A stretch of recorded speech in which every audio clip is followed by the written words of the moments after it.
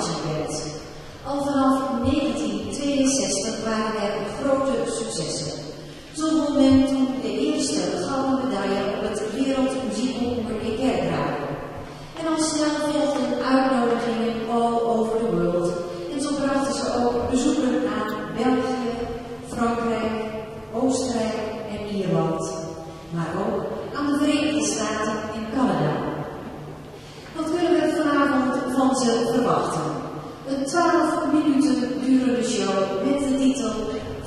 dansschool bestaat daaruit een medley van bekende filmmelodieën. Zo hoort u onder andere